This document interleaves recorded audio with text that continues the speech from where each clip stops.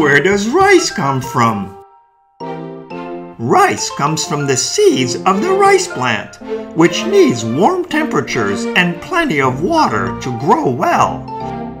Rice is especially popular in Asia, where it is the most important staple food eaten by the population.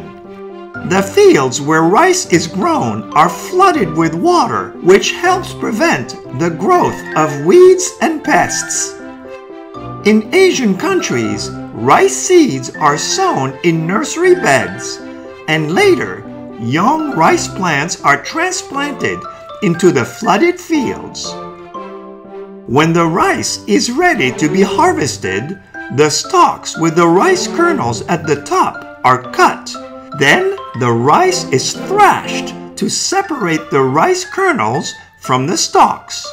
The top outer husk of the rice kernel, called the hull, is then removed by shaking and rubbing the rice kernels.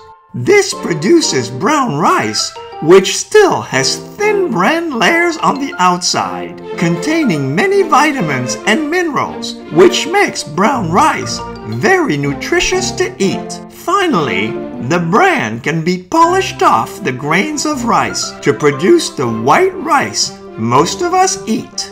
There are actually many varieties of rice grown around the world. Short grain, medium grain, and long grain grain rice, purple rice, and even striped rice. And all of them are good to eat making rice the most popular grain eaten by people on the planet.